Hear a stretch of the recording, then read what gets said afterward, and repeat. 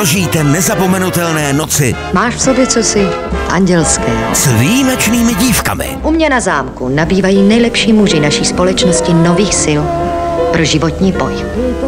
Krásné poslání. Zdena Studenková Jste strašný marnotratník. Asi jsem po vás příliš toužil. v české komedii Co je to tady za kravál? Někdo křičel, že to tady v Česko vyberou. jako nedosažitelný Anděl s ďáblem v těle. V pondělí ve 20.00 na CS Filmu.